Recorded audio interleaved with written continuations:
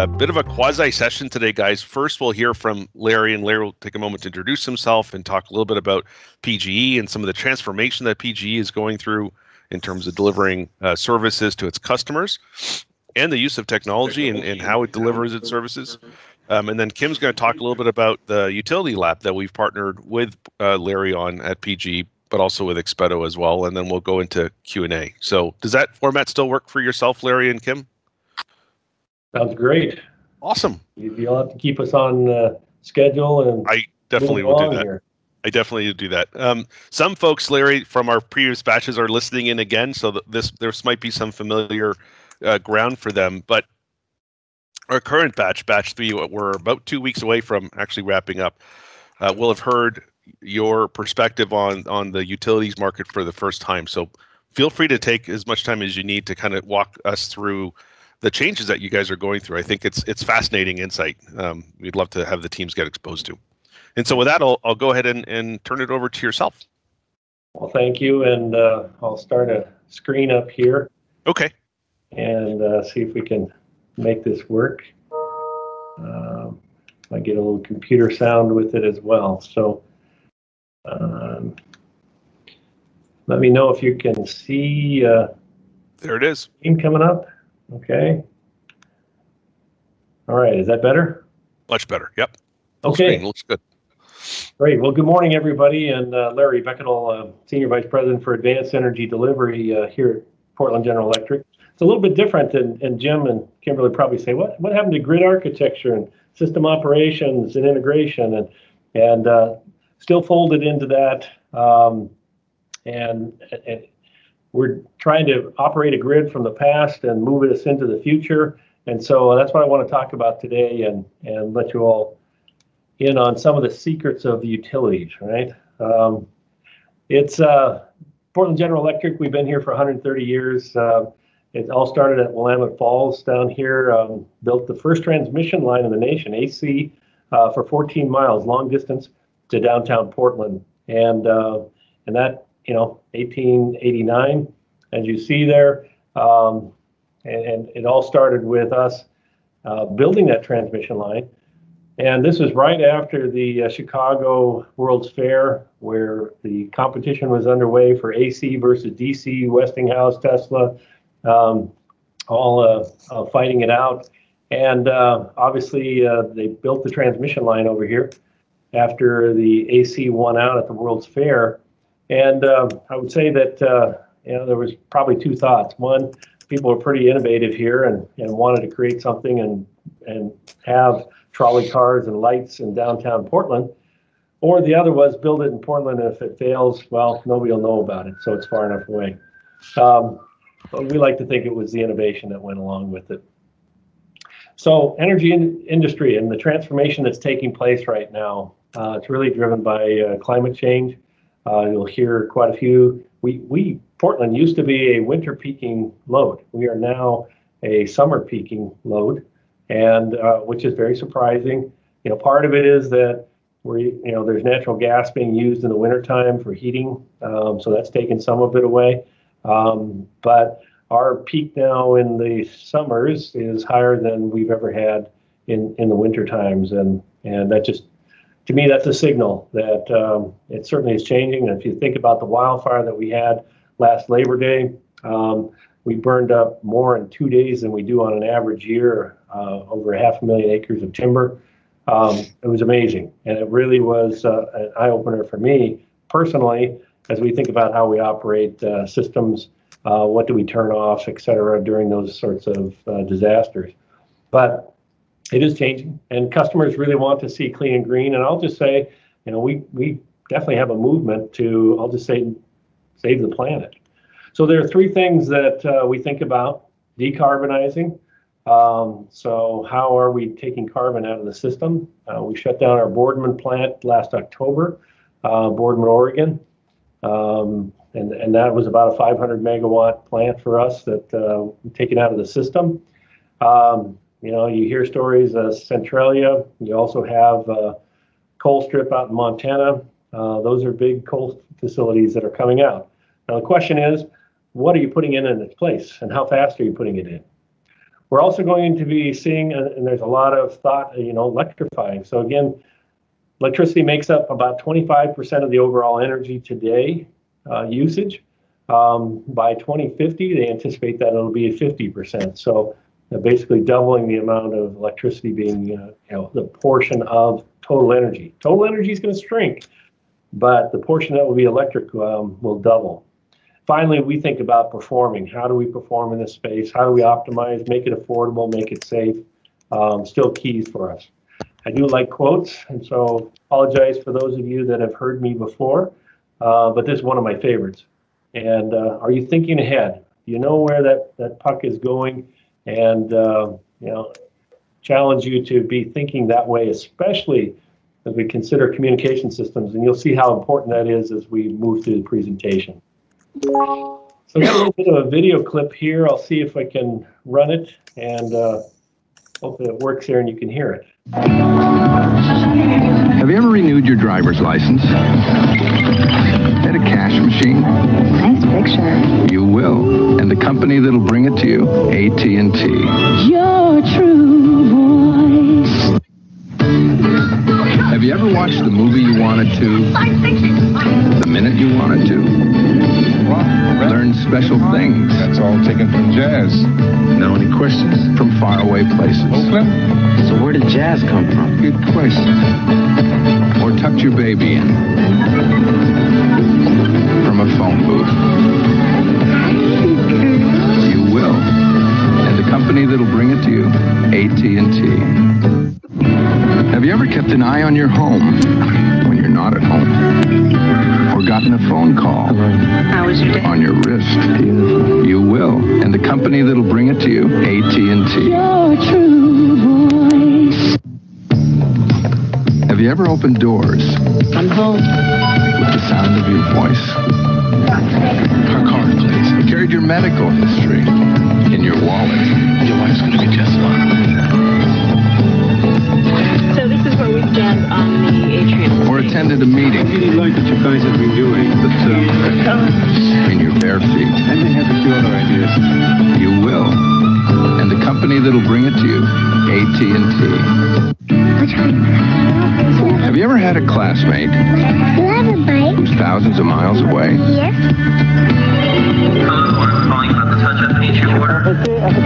Conducted business in a language you don't understand. Or kept an eye on your home Well, let me stop there. Why I like showing this, if uh, you were to look up AT&T, and you will, um, you'll notice that it was created back in 1993, 1994. And uh, I, we all take for granted that right now. You know, I look at the watch on my wrist and I can talk to people, and um, you know, we're having a meeting like we are right today here and having the conversations, everything that you see in there. And um, this was 1994, 93. Who was thinking about this stuff? And, and did you really think it was going to become a reality? So now jump ahead. What is that, 20, you know, six, 27 years? And, and what's it going to be like 27 years from now? What are we doing today that in a similar way would be taking us into that future? And so uh, I think that this one's one of those enticing to say uh, things are changing for us and, and how should that look going into the future? So I would propose that, you know, we like to talk about it as being integrated.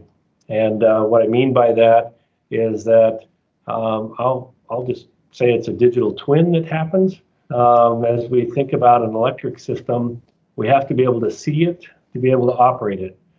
So in uh, the way I like to think of um, the, the, the grid, the system, um, on the left-hand side, we have a lot of transmission generation issues that we're dealing with currently. And on the right-hand side, we have a lot of distribution equipment, um, equipment that's in homes, photovoltaics on roofs, batteries, um, cars, um, your thermostat, uh, all the major loads in your home that um, could be flexible.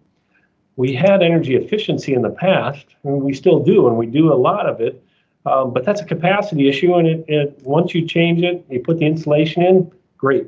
your home's going to use less energy. That's the best thing you can do uh, if you want to, you know, reduce your energy uh, footprint. However, a lot of the loads that you have in your home are in true fle- flexible. And so by that I mean a thermostat, if I can change it by three degrees, well, okay, that doesn't probably affect you all that much. And um, that could be three degrees in the winter or three degrees in the summer when we have a peak that's going on in the system.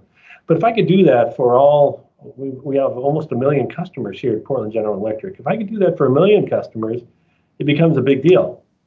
It's kind of like putting in LED lights. That was an energy efficiency that when it changed one bulb out, you didn't see much in your home. But if you changed all the bulbs out in your house, you saw it on your energy bill. That's the same concept here. Those little things add up to be big things. And so the grid sits in between. And you can see it's got to be reliable, it's got to be safe, it's got to be affordable. Those are the issues that we've really thought about in the past. But now we're thinking about the innovation. And as I mentioned, we're taking carbon, shutting down coal plants, for instance.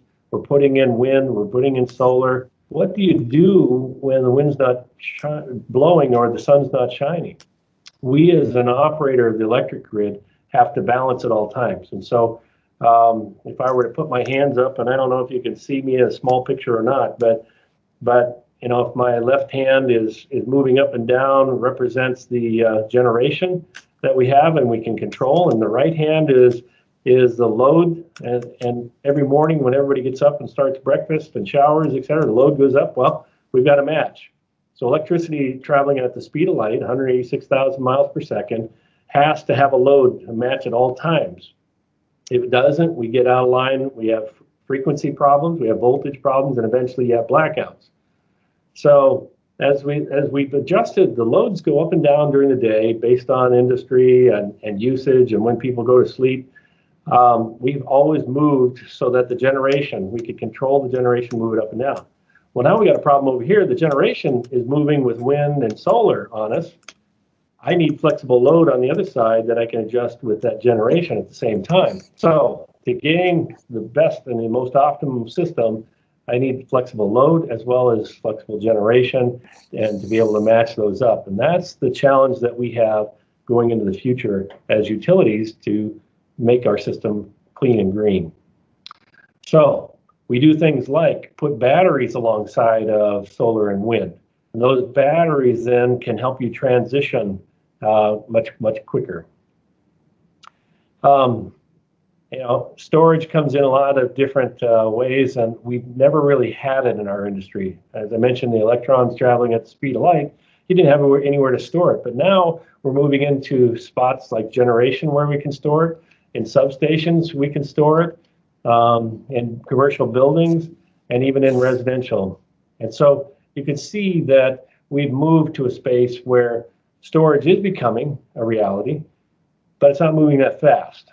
And um, the question is, as we take out generation, are we putting in enough generation and batteries to, to try to operate the system? Oh, and by the way, maybe those go into uh, uh, transportation, ferries, that sort of thing. I would say also that uh, hydrogen is the other uh, proponent that will probably come along in this space. So for us at PGE, one of the things we're doing is an integrated operations center. Typical utilities can only see to a substation. They have AMI meters that they read the meter, and that will tell you whether you have an outage or not. And now we're starting to use it for voltage, but we haven't operated the system based on that information. We've only operated it for generation plants, transmission systems, and the substations themselves. What we're now doing is moving into the distribution and seeing down at lower levels because that flexible load is something that you need to be able to see. You need to figure out ways to influence it or control it because it's coming to you in your garage. It's going to be that uh, electric vehicle that you're operating. It's going to be uh, across a myriad of, of different applications now going into the system, whether it's mass transit, uh, it's the autonomous vehicles. It's, it's clearly uh, what um, we do in terms of transportation of any kind. Um, but all these storage devices really do matter and make a difference. And to give you a sense for that, so we look at electric transportation in Oregon by 2050, we'll have a million cars, 50,000 commercial electric vehicles, and 70,000 charging ports. To us, that's a $10 billion um, infrastructure um, funding that needs to take place to be able to provide all of that for those vehicles. And I'll just mention that last, uh, let's see, it's been three weeks ago, we just had a uh, grand opening with Daimler America here on Swan Island, um, our first major commercial uh, fleet charging. So uh, large trucks. And it's really not as much about the long haul at this point as it is about the box trucks uh, running around town doing kind of the 200, 250 mile. Uh, um, the total cost of operation is cheaper for them to go electric. And so uh, Daimler sees that and school buses as well as those box cars. So we did the first charging. Those are 350 kW per charger. Uh, we're going to install in there. I think the first in the world is a, a megawatt charger. So instead of that vehicle taking three hours to charge, it's going to take 20 minutes to charge. And uh, you can imagine if you have a distribution system that has a capacity of 10 megawatts on a feeder, you have maybe 8 megawatts out there already, and now you're going to add a half a dozen chargers at a megawatt apiece onto that feeder. Well, how do you operate that? And that's part of the investment that's talked about here. And I would say that um, it, it, also means that we need batteries to buffer some of those uh, activities uh, on the on the grid. But we anticipate by 2050 that 20% of our total load is going to be to support electric transportation. And, uh, you know, again, buses, um, we'll try one more video here. It looks like a typical city bus. So it's a very smooth and peaceful uh, bus commute. But it's the quiet that tells you there's something different about this one. There's no rumbling of the engine in the back. This is Bus 962, running its 26 mile route through Portland, Oregon. It's a first in the country because what's fueling this bus is the power of wind. How does it work? The bus is electric, but its charging stations are powered by wind turbines provided by Portland General Electric. We guarantee that the energy consumed by this bus over the course of a year uh, is generated by wind resources in the Pacific Northwest the entire effort centers on reducing pollution and greenhouse gases believed to contribute to climate change. Greenhouse gas emissions from the transportation sector here in Oregon are 40% of the state's total emissions. Which is why transportation officials here want to change all 700 buses to run like the wind. So, what we decided to do was to convert our entire fleet um, to zero emissions, and uh, we wanted to do that no later than 2040. The whole fleet? The entire fleet. But the buses aren't cheap. Each one costs a million dollars, double the cost of a diesel bus. Officials say those costs are offset, though, because the wind powered buses are three times more efficient per mile than diesel. And there are fewer maintenance costs involved. It's a model they expect will one day reach beyond Portland. I think it can be applied to the other cities throughout the United States. The potential for a wind powered bus to blow through a city near you. In Portland, Oregon, I'm Maya Rodriguez reporting. It gives you a sense that uh, 700 buses, you can imagine the uh, magnitude uh, that that impacts.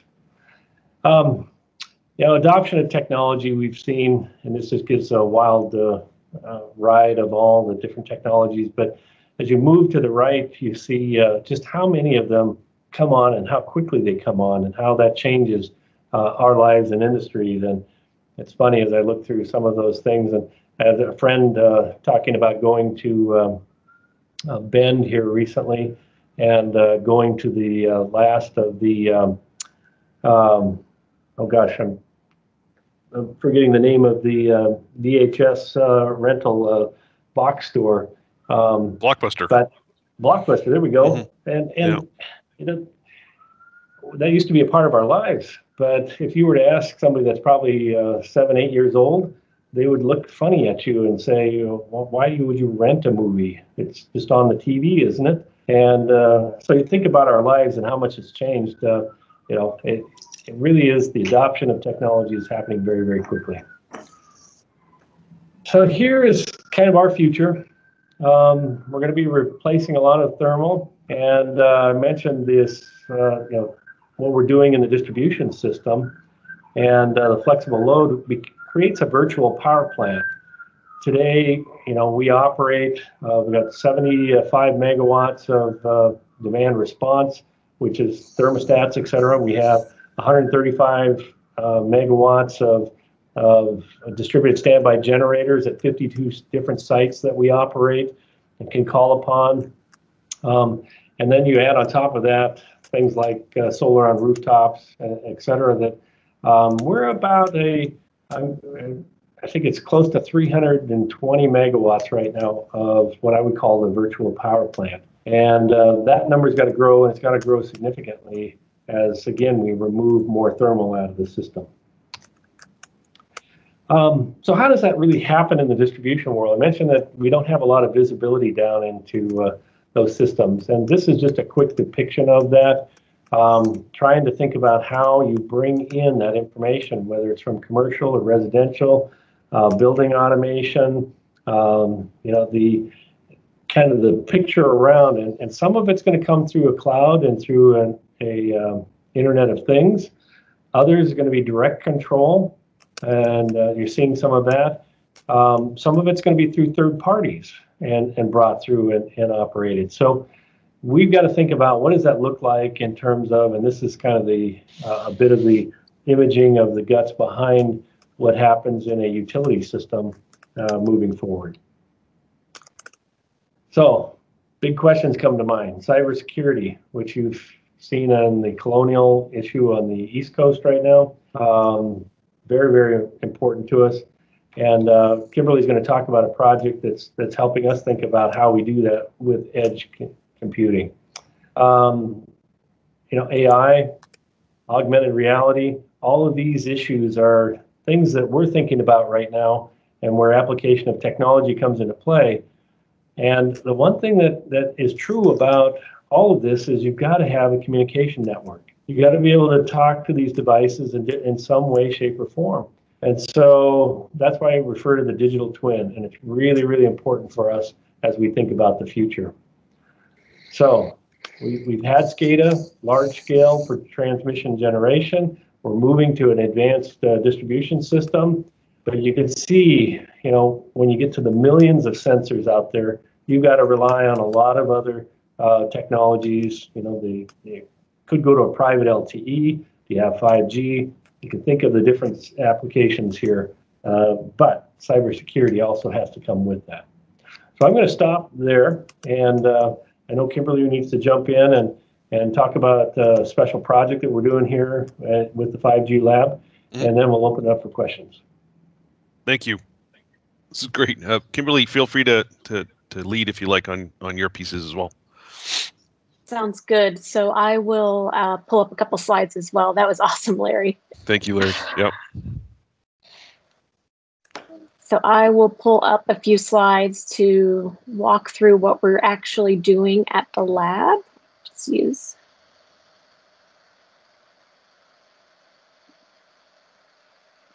this will share. Oh. We're good. Can you see it? Okay, hold on one yep. second. Okay, good. You can see everything. Perfect. And I will do go full screen so you guys can actually see what's going on here, I hope. Great. Okay, well, thank you guys for giving me a few minutes this morning, and I want to uh, make sure we have enough time for questions, but wanted to walk all you innovators through what we're doing at the Energy Lab and warmly welcome you to uh, participate. Um, we're looking for new ideas, and we're excited to be able to have the exposure today to introduce this concept to you and we look forward to seeing some of the ideas you might have to um, mirror Larry's vision of how we're going to bring this utility of the future into fruition. So, uh, the 5G OIL Energy Lab mission and objective is really to develop 5G powered innovations that we believe will help accelerate the adoption of clean, renewable, reliable, safe power. Um, some of the cool use cases we're working on is everything from how do we build a safer connected worker to how do we mitigate wildfires. So there's a lot of really cool use cases going on. Um, these applications are really focusing on the leveraging of 5G networks.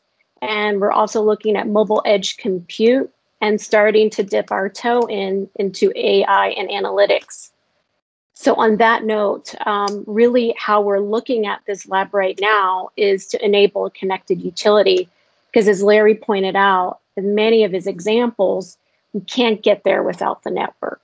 So there are three um, legs of the stool right now in the lab. So we're connecting workers, we're connecting field devices, and we're helping PGE get better connected with their customers so that we can help them deliver clean, safe, and reliable power.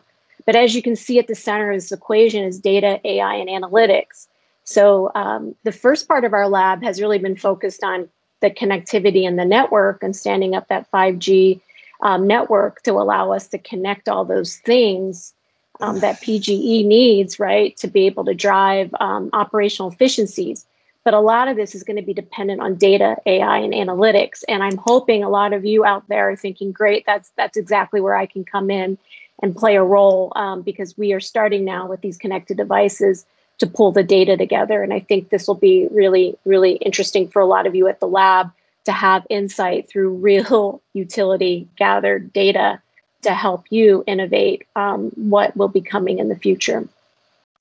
This is just a quick look at um, our roadmap to date. Uh, I'm not going to get into to, to the, the splitting hair details, but just to let you know, um, we're connecting field devices to help mitigate wildfires. So that is something we've been working on um, from the beginning of the lab, beginning of this year, and we're continuing to work it through the end of the year. Um, we've been able to stand up the network, connect weather stations. We're going to apply some geospatial visualization to that. We're going to be able to provide AI and data um, analytics now to third parties or some of you on this call potentially. Um, we're very interested in being able to get these environmental conditions and visualization as well as other data sources so that we can help PGE mitigate wildfires and maybe start to build some specific data analytics that information could help power things like drones. Um, and so we're looking at the use of drone technology as well as connecting other specific utility sensors uh, called FCIs, fault current indicators, um, as well as early fault detection technology to allow us to help give PGE the early indicators of wildfire. So that's one um, leg of the stool. Um, we're also helping PGE get more connected to their customer through new devices such as EV chargers. So that's exciting. Um, in this phase of the lab that we're currently working on, we're connecting what PGE calls electric avenues. So these are um, this is their EV charging fleet, and from that we're gathering data into a into a cloud that would be accessible to to those um, who would be interested in participating in the lab, so that we could get better forecasting analytics and information on these loads um, that could be applied to to more use cases. So visualization, analytics, and AI algorithms will be really, really important to us as we begin to connect these electric avenues. And then finally, connected workers. And here we're really working around the theme of safety and productivity. So we want to make sure that we're getting data to workers in the field. Um, they have a high dependency uh, on, on, on bandwidth and networks to be able to get their, their information. And as Larry pointed out, you know, a lot of a lot of um, power generation isn't just coming one way anymore. It's it's it's coming two way. So we're seeing power um, being brought on um, through renewables, and this is creating a bidirectional grid. So it's so important that we're able to get workers real time information before they start to interact with some of these circuits and feeders and make sure they aren't energized, for example. So um, here, the importance of the network is extremely important. Being able to get data to workers that have tablets, they have phones, they have computers um, and they need to be able to interact with this data. In addition, we're looking to adding more devices such as uh, goggles or sensors or things that could help us uh, track the health of the worker, the anxiety and the stress of the worker, um, making sure that they're in a, a, safe environment as they go up on their bucket trucks, right? So being able to create innovation around the worker so that um, we're thinking of ways to keep them safe and productive. Um, again, data is going to play a big role in this as well as more, more devices. So what we have at the lab is what I call an innovation and commercialization process. And it's really important that both go hand in hand because as you and, and a lot of startups bring awesome ideas into the energy industry, it's sometimes they just don't have that background, right? So they're learning, the utility may not have the background on all the cool innovations that are out there. And through this lab, we're able to bring both together so we can give you some of the utility day to day, day in the life information that you need to be able to innovate. But at the same time, we're going to give you really great information on eh, do you have product market fit for this industry? So we're not going to waste anybody's time here. I mean, what we're really trying to do is give you a space where you can bring your innovations to play. We're going to give you real time feedback. But more importantly, if PGE likes your idea, they're going to move it in, to a commercialization process. So we're not just going to sit around and pilot things to death. Larry doesn't have time for that. I don't have time for that. What we're really trying to do here is push really good innovation into PGE's production environment um, as quickly as possible. And so there's an innovation piece to this, but also a commercialization um, piece. So the goal is rapid application development life cycles. Uh, we're trying to uh, do things in 90 day chunks so we can get to an evaluation go no go stage where you will get really good um, information on whether you have product market fit and if it's a go move into a production ready environment.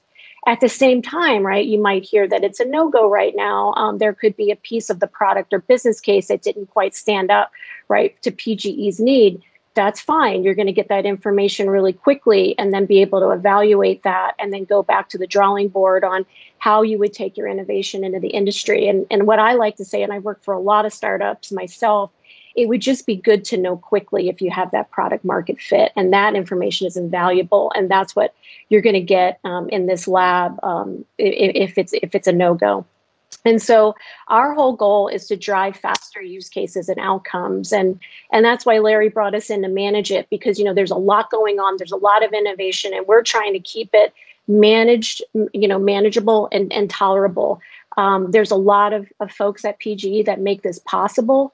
And so we're trying to help them take some of that burden off of them so that we can see the acceleration. We are working very closely with PGE's IT groups from the IT, the networking, the comms, and the security team so that we can stand up networks that not only meet, you know, the bandwidth, latency, um, you know, and throughput needs, but also security. Um, we're working very closely with some of the IT owners, right, to connect devices, and that's where we're getting more involved with GIS, geospatial, um, and some of the the crews out there as well as some of the EV charging group, right? So that we can understand like what they need, what devices they want to connect. So we're getting involved in those OT groups. And then finally, we're trying to pull this information into third party clouds to give some of the innovators access to the data and analytics. So that's kind of how it's working. That's how it's all coming together. And what's awesome about this is sometimes when you try to bring innovation into a utility, and I think Larry can speak to this, you know, there's a lot of silos, right? We're trying to break down some of those silos and introduce innovation really quickly and get information to PGE so they can see, you know, it, it's some, some aspirational innovation. Is this actually going to work in their environment? And the same back to the innovators, you know, if they what, what it would take to have product market fit at at a utility such as PGE. So with that, um, I, I'll turn it over back to Jim. We can take questions or. Yeah, let thank you, Kim. That was great. A, a quick question for you. A lot of the initial use cases that were scoped were done with Larry's team around some key scenarios that I think you all ranked in terms of importance at the top, and then things that are really interesting but you know less important for today. Is that still the the engagement that you're driving? Is around those types of use cases? Yeah, so we have an aspirate what what's been called as an aspirational track and a more practical track. Yep. And so that's the that's the bridge we're playing. So we're looking for aspiration and that's why we wanted to get on this call today Mm-hmm. We'd like to open up a process for those of you who are interested in participating. We have what's called a solution framing document um, that I'll make available to everybody on this call. And so it'll walk you through how to frame your use case and your idea to see if it wor- would work in PGE's environment. So we'll walk you through a very simple process. You'll be able to fill out that form. You can get it to us. We're looking for aspirational ideas here. Um, some of the things that you're seeing are practical tracks, right? So Larry will come to us and say, hey, we're working on uh, wildfire mitigation, or hey, Kim, we're working on an EV charging program. So that's forming a horizontal, as you saw on that roadmap, the, the practical track. But aspirational innovations can come into that track. And some of the value we're providing is we're going to um, connect your aspiration into the practical needs of PGE. And Sure. so they can start to, you know, trial and, but we'll get you into the use case at the right stage. Got it.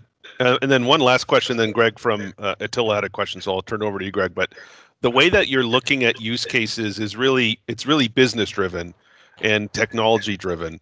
But you're not looking for companies per se that are, let's say, all in vertically integrated in utilities. You are looking for a mix of companies that understand the utility space, but also bring some great horizontal capabilities that cross multiple industries as well. Is that is that correct? Absolutely. Absolutely. And and have no fear if you don't have that utility experience, that's what we're here for. Um, I don't think Jeff is my counterpart. Jeff um, is on the phone right now, but he and I are helping manage this lab, and we're going to make sure that you guys have the utility information that you need. And I'm happy to, you know, meet one on one with folks that that don't have it and and walk them through um, so, some of the ways, you know, educate you on how how you be involved in the use cases and and uh, we match technology with with the needs of the grid and get you the specific specifications and information you need to, to know if you'd be a fit. Thank you. Thanks for thanks Kim for clarifying that because um, it's easy for a company that's not one of our batchmates that's not in the utility space to say, well, maybe this maybe this doesn't make sense. But we have proven now several times that there's a number of companies like a Tactile and perhaps others on this call that actually bring right. capabilities that are really interesting. Hey, Greg, did you want to go ahead and ask your question? I would, Jim. Thanks so much. And Sure. Larry and Kim, uh, great presentations. Um, Larry, the uh, comment about Colonial obviously hits home for all of us. Uh, as a longtime cybersecurity CEO, it hits even closer to home, especially being here on the East Coast. Um, Kim, I was sort of curious as you went through your presentation. I didn't hear too much about cybersecurity uh, or the or cyber at all. Is that something that you envision or something that you would be interested in at this particular point? Yes. And Great. Larry mentioned that too in his presentation. So uh, many of those use case lines you saw, we need help on cybersecurity. Um, in particular, as you start to think about these field devices, they often do not have a lot of space for security, right? And they're operating on a SCADA based network. So we are um, actively, and I'd love to put out the plea, uh, need help on the cybersecurity front. Um, I, I started, I actually started my career in cybersecurity. And Craig, it looks like you have a Maryland hat on. Do you? I do. I'm from Maryland. Um, so. I, I, even Larry, I had, I, I know we're like two cybersecurity people from Maryland. I started my career in cybersecurity and then moved over to the utility space. And um, so I would love to speak with you one on one and see how you could fit. Uh, we are definitely looking for help in the cybersecurity arena here. What are you guys Well- in touch? Yeah. Kim, thank you so much. Appreciate it. Larry, look forward to working Yeah. with you. And Kim. Great, thank you. And, and, you know, I- I'll just say that, think of it also as, um, can you, from a, can you isolate? Um, you know, and, and we've done that in the electric system where we put in protective devices. So if the tree falls in the line or the car hits the pole or whatever the fault is, it's isolated to as small an area as possible. And that's really, you know, as we lean on uh, Michael and the Expeto folks, thinking about um, the channeling, how that information comes in, um, you know, how can we pocket that to make sure it's controlled all the way through and we're not worrying about uh, um, somebody that's able to penetrate through. So, um, love to hear Michael's thoughts on it, but but that was one of the attractors for us uh, in going this route versus the traditional cell phone. We're relying on, you know, and no no offense, Jim, we're relying on T-Mobile or or Verizon or or uh, AT&T or whoever uh, to just do their security and bringing stuff and ta- attaching to our clouds, et cetera. No offense taken, Larry. And and one area that there's another question that's being asked. So we'll we'll have that question be asked now uh, from Anon. But after Anon's question, I'd like to actually have you share the analysis your team did around evaluating whether PGE should build its own private network, whether it should use it as a service, like outsource it. And and your team did is a, is a great job of really looking at the pros and cons for each. And if you don't mind, I'd love to maybe have you speak a little bit about how you guys were looking at that because that's really interesting. And it's not just particular to, to PG. I think most enterprises that are considering, hey, do I go build my own private networks, are probably going through similar exercises. Um, so with that, Anon, I'll, I'll turn it over to you if you'd like to ask a question, and then uh, we'll go back to Larry. Uh, thank you, Jim. Uh, Larry and Kim, thank you so much for this uh, presentation. It's super helpful. So we are a all-electric autonomous vehicle company. We're starting a full rollout right here in Las Vegas to start off. We're going to start with a very small fleet of uh, cars deployed, but we have a very aggressive growth next year, a huge fleet that we want to deploy. Um, part of the trouble that we're kind of facing is how do we interface with so many different charging stations, so many different vendors, so many providers, everybody's different plugs, different uh, power capability. It's so fragmented. What, from the utility perspective, what do you think about that? How do we interface with that uh, kind of a fragmented situation? Uh, what, what, do you see in the future? And how do we actually get to work with you on this? Uh, or is there a possibility that you think there's a partnership here that we can work on? A lot of questions, but thank you so much for your time. There's a big movement there on the standardization and um, and again flexibility adapters that sort of thing you know are you on a level two or level three and dc charging and the adapters that go with? And uh, um, the industry is, is doing a pretty good job of starting to standardize on some of those things.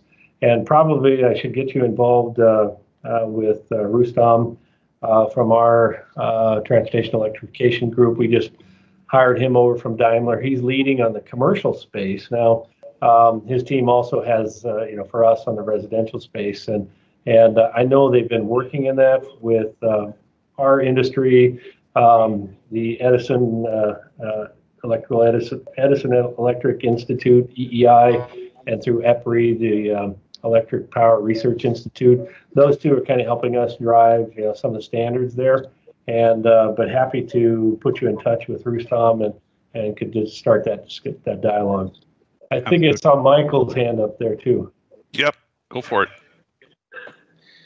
No, I just was gonna, I was gonna, you know, kind of ask Larry. I mean, it's almost as if, you know, you you went home, you you drove home from work one day, you know, you had basically this fixed, you know, kind of reliable set of generation, you know, understood the bell curve of demand, and then you came to work the next day, and and they said, well, hey, listen you know, by the way, your whole generation now is, you know, spread across a thousand different things as opposed to two or three things. You can't depend on it. And by the way, you know, you um, you've got to enable all these opportunities for your customers now to be, you know, active participants in uh, generation and, you know, uh, conservation and and all these things. And all by the way, you know, what you thought was the edge of your grid, you know, was kind of this fixed thing, and now it's growing to be millions of things. I mean, how how are you dealing with that?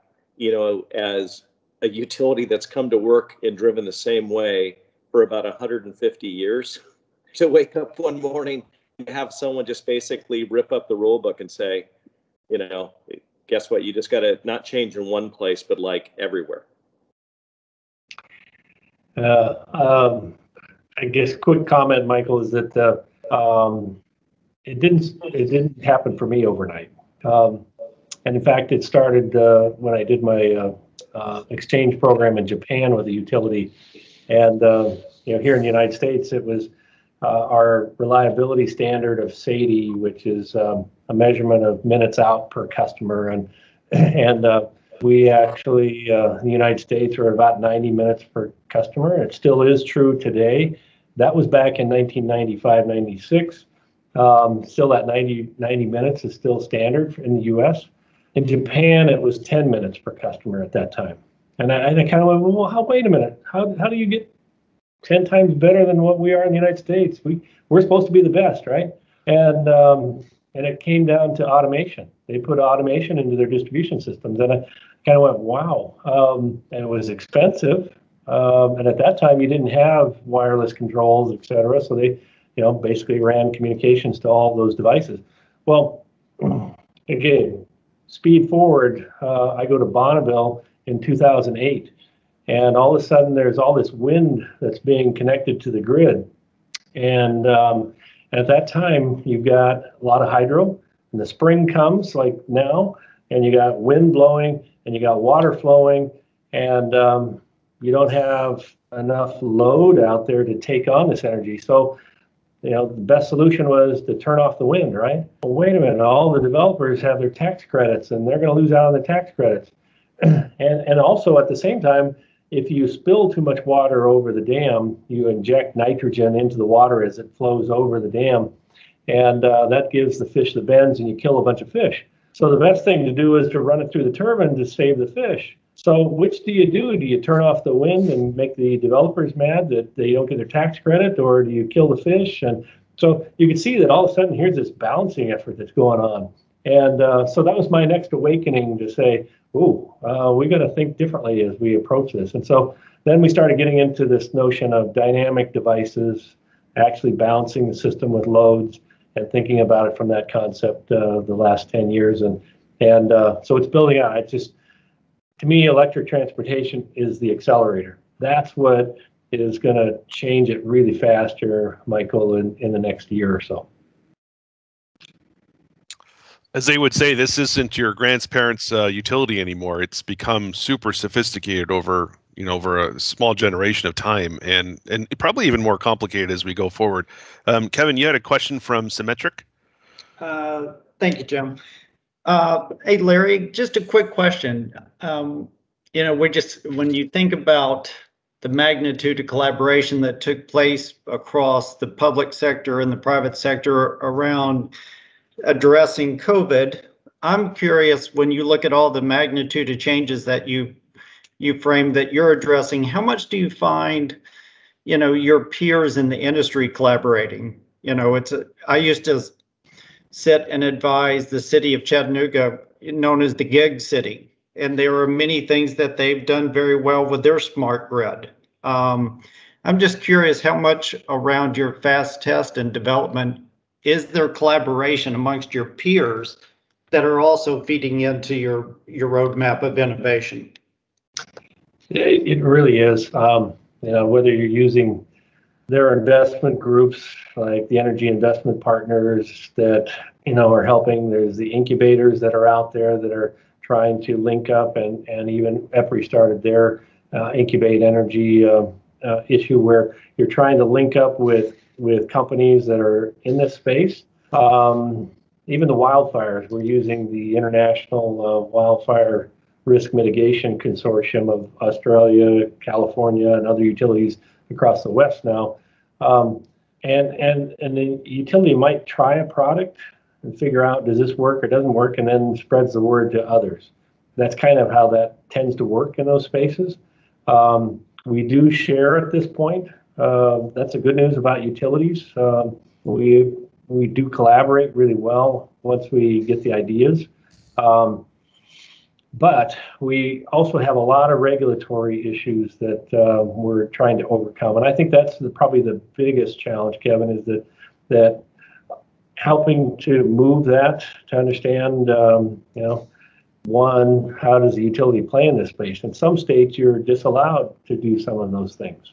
Um, you know, we're fortunate here in Oregon that we can here today I mean, for the most part, but that took you chargers. We couldn't install infrastructure associated with chargers uh, this past seven or eight years because legislation was put in um, by Senator Byers at that time.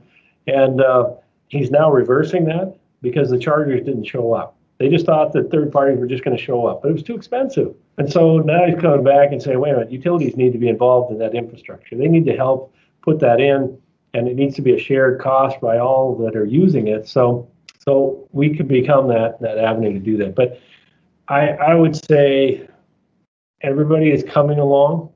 Some just uh, a little little more of a struggle, and it really depends on how states are addressing it as well. If they're encouraging we've been fortunate with our Oregon Public Utility Commission. They're encouraging us to to move some of these things.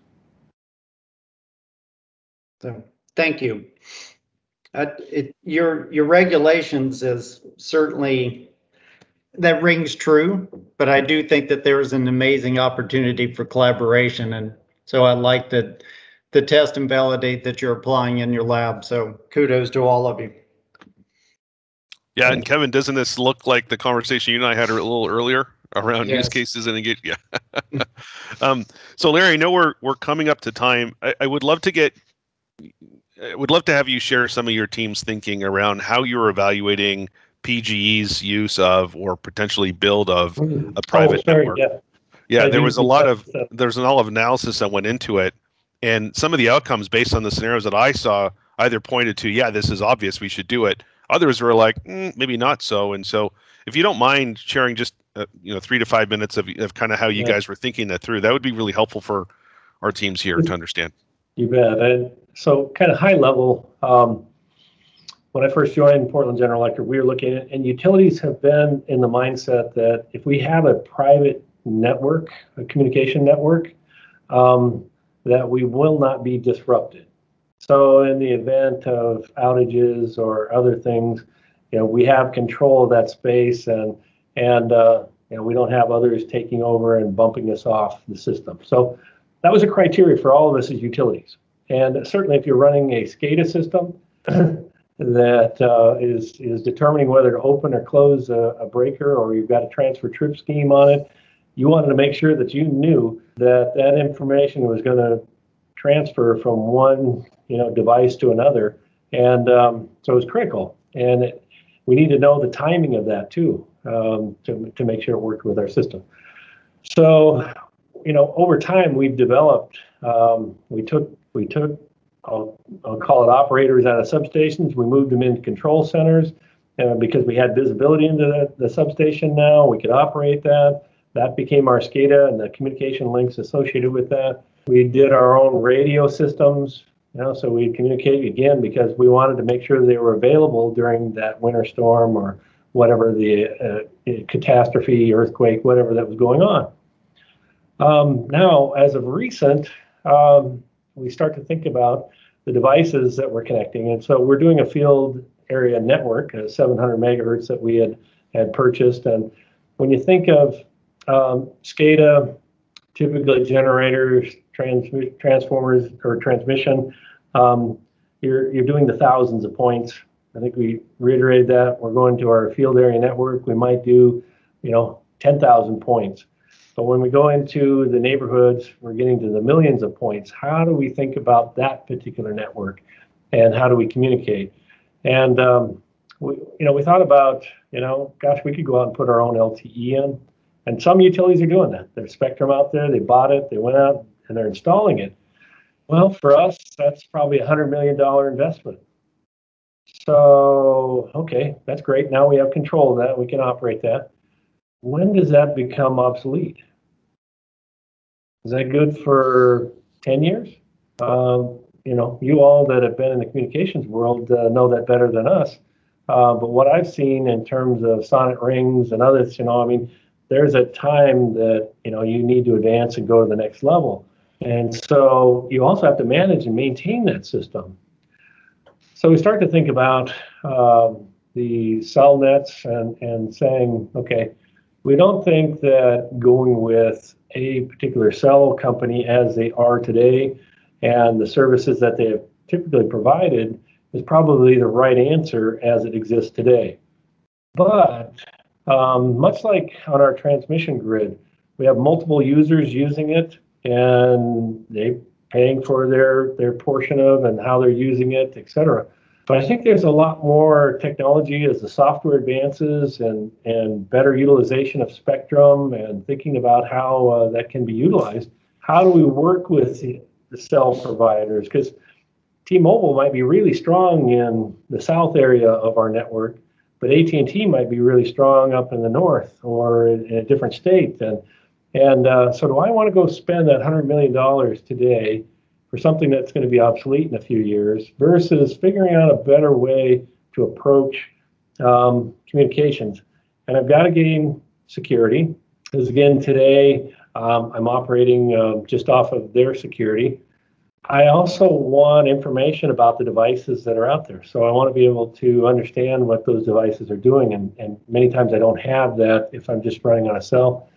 Um, what is the cost of you know putting in a SIM card uh, and how long does that take to get those and acquire them? And uh, so and the expense associated with that with various devices. Um, so yes, I, and I apologize, don't have the presentation here today, but, but we kind of broke through and started to think about what's the best way to approach.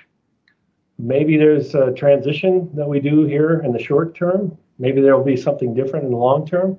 But we definitely see that 5G is going to provide a whole lot more data, but you've got to have a lot more antennas sitting out there. Um, how do we how do we think about that with those partners, and how do we approach this differently? So, so uh, we haven't solved it yet, um, but we want to grow into it as we put these devices out there. Makes a lot of sense. Any other remaining? Que- Thank you, Larry, for that. Um, any other remaining questions before we wrap up from anybody? I want to be cognizant of everyone's time. No. Okay, so this was a bit of a hybrid session because we had both Larry kind of sharing context of what's actually happening in the utility space and some of the things are, are expected to be coming as the, as the industry transform. We also had Kim come on and talk about the energy lab that we've been quietly working away at and hopefully soon announcing to the world that we have this this great platform as well. And so lots of great new connections that have been made as a result of uh, today's discussion and um, and Larry and Kim, thank you again for uh, offering your time to meet with us all and to meet with the teams as well and to kind of share your perspectives and your and your industry wisdom. We appreciate it as always. Great. Thank awesome. you all. All right. Have a good rest of your day. Thank you again. Have a great rest of your day. Stay safe. Cheers. Thank Take you care. guys. Bye.